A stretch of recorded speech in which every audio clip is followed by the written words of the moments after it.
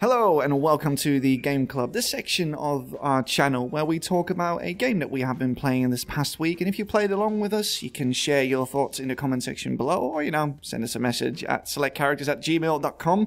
I've cast myself in the role as the audience surrogate because I have no idea what this game is about at all because I've been ill for the past couple of weeks. So here to explain to me why this game is worth playing is Sam Yates and Ryan Dildine. Hi guys. Hello. Hey, So, to start off, what the fuck is Cobalt? That's a good question, man. It's um it's a lot. it's a 2D platformer, also competitive kind of game. Basically what you're looking at is something like a platformer. It's probably the easiest way to start. You've got um, guns, weapons, melee attacks, all your general wealth of weaponry available.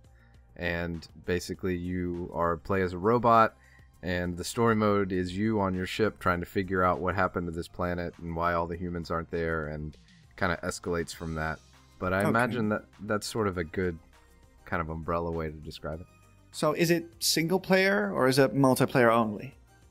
uh, it's, it's both. Both, yeah, yeah. It's got. Uh, I mean, Okay. it's got a story mode, um, which I wish I I had gotten into further. I got a little bit into it, but not super far. And uh, the multiplayer is what really grabbed me. I mean, the it's got um, casual and competitive modes. It's got um, what deathmatch, a, a mode called Team Strike, where you. Um, it's actually kind of reminded me of Counter Strike because you pick like your class and like what uh, not what weapons they have, but they they all have their different pros and cons. You know. Um, so you get to pick them based on their stats and based on the amount of money you have. Um, and then there's oh Sam, what's the third one? It's pub plug slam plug slam. Yeah, and that's like soccer sort of, but you just pick up this um, plug and you, you, there's two goals and you just run around trying to throw it into the goal and then you know just plays out like uh, any other sports game. Right. So, I haven't heard a lot of this game, but what I've heard of- it is very, very positive, and I know that Sam's really, really into this. Why? What makes this game better than other games in the in the multiplayer platform genre, if that's a thing? i think it's got something to do with the path to mastery or the the road that you take as you gain skill in it because at first it feels like you're out of control and you have no idea what's happening and sometimes you'll do something cool Yeah. Right. and that's often the hook that's really what draws you into a game is because you don't, you're not even sure what you're doing but somehow you do something amazing like you bounce a grenade off something and you kill like three guys or something and you're like whoa that was awesome i don't know how i did it but that was amazing Yeah, it sounds And- like literally every match in Rocket League for me. sure yeah that's that's not a bad point of comparison because it's, it's like the same way and then you realize you sort of gradually gain skill and you get to the point where now you're doing those things on purpose it's that road to gaining skill and that road to mastery Right. Is is is there a high skill ceiling? Yes. I feel there is. I'd Yeah? say so. Yeah, it feels like it. Um, when you roll, your character does a roll, and the if you throw grenades, they'll go out at the angle that he's facing as he's rolling, and Right. then you can also punch the ground and stuff. So there's a lot of timing involved with that, and then just general movement stuff, gaining speed, keeping speed, all that kind of thing. It's it feels like it could be pretty up there.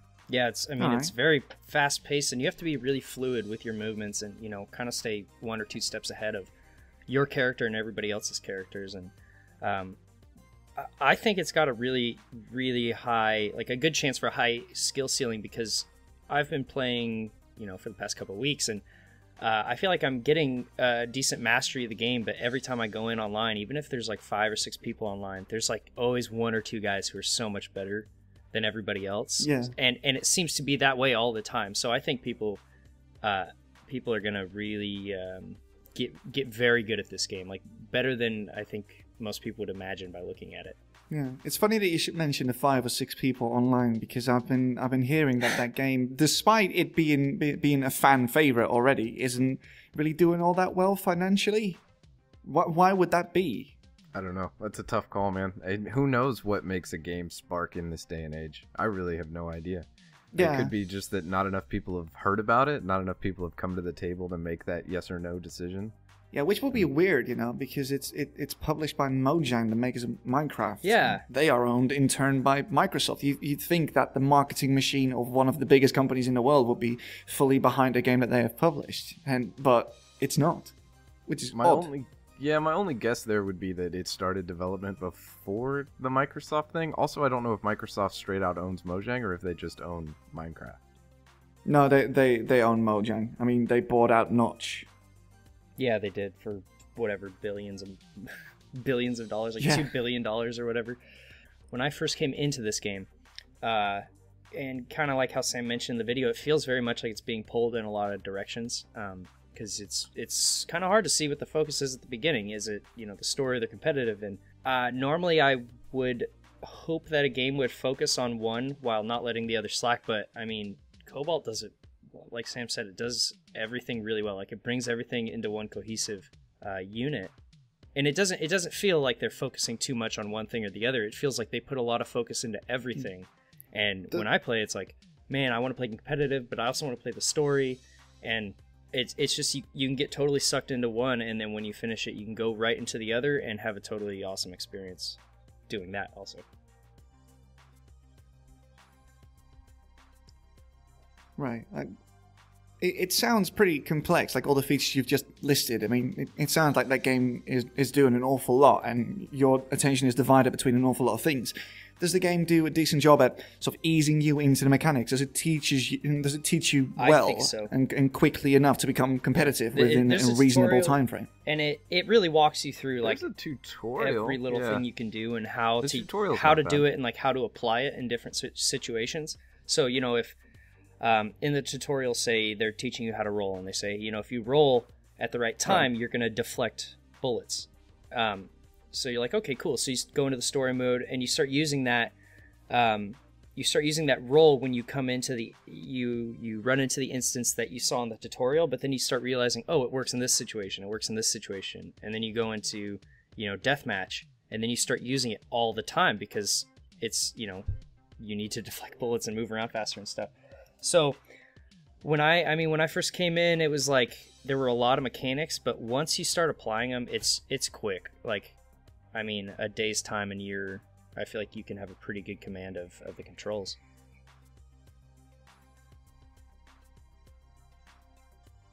Ah, that's pretty good then. Like it, the skill ceiling's really high, but it's very easy to access initially. and it's not it's not like you know there's a limited number of things you can do there's a whole lot Yeah. of things you can do but there's also not so many that you forget them you'll because you run through the tutorial they teach you like nine or ten different things and you sort of don't think about it until you run into that situation but as soon as you do it sparks your brain you're like oh i remember they showed me how to do this and Right. then you kind of execute on that it's not so many that you get lost in the the whole cloud of all this different like complicated button presses and combos and all this stuff. Yeah, and It's you know that that reminds me like I um, felt like it was going to be that way. I felt like it was going to be you know just thirteen button long combos, but it wasn't. Like every every action flows really well with all the others. Yep. Right, so good, clean fun then. That- yeah, it's absolutely good, clean fun. Yeah. Okay, what about the presentation outside of the mechanics? Like, what about the game's looks? Do they do they complement the world well? Do they complement well the mechanics well? Is the overall vibe uh, attractive enough to the eyes, if you i- i- if you will? Yeah. I mean, it's it's pretty enough. It's not it's not a stunner, but I think it looks great for Yeah, what was that a weird question or?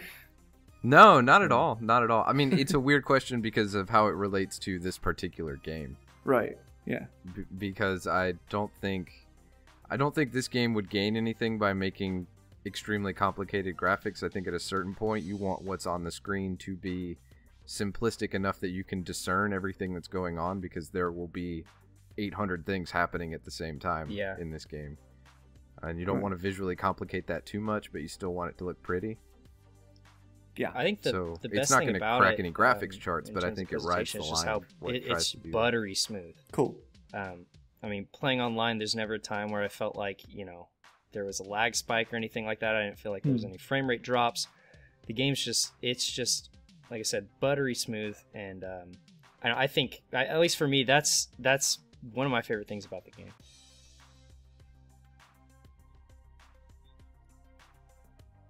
All right, cool. That sounds like a ringing um, endorsement by both of you. Yes. Uh, anything you'd like to uh, li- like to add to this? Before just we end had this? it. Hang on.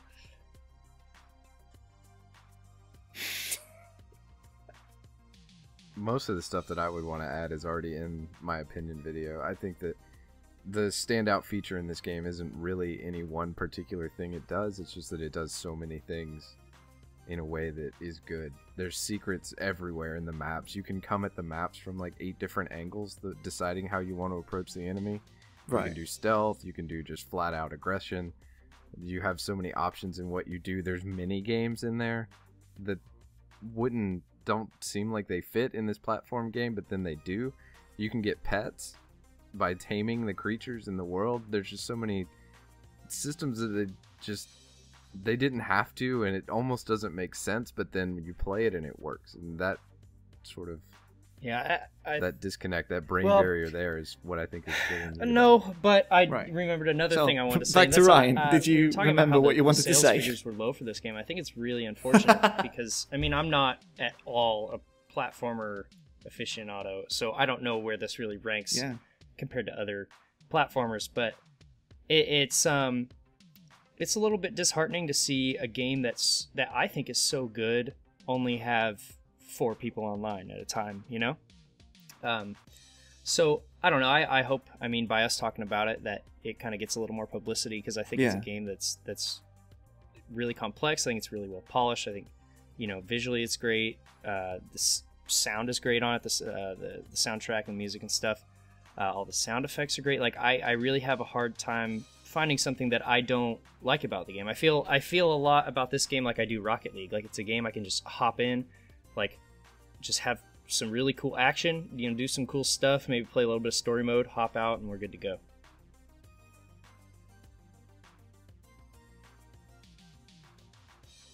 Yeah. Well, you know what we'll do? We'll just put a link to the Steam store page in the description. If uh, anybody listening wants to check it out, you can do so by clicking that link in the doobly doo below. And uh, yeah, that's Cobalt for us. Um, we do this every week. We pick a new game to play on the podcast, which comes out every Wednesday. Uh, it's on this channel. If you if you want to want to listen to the podcast on this channel, it's every Wednesday. Um, it's also on SoundCloud. Um, you can get it on on iTunes, for instance, as well. Just check the links in the description if you want to subscribe to us. Thank you very much. We'd appreciate this because we uh, we like to think that we are working hard on the content you see on this channel as well as uh, on the podcast. And if you want to find out what we're going Yeah. to play next week, Go buy listen Cobalt. to the podcast. Um, that was it basically, wasn't it? Yeah. Yeah. All right. All right. yeah. Go buy Cobalt. All right. Thank you for listening, and we'll see you next time.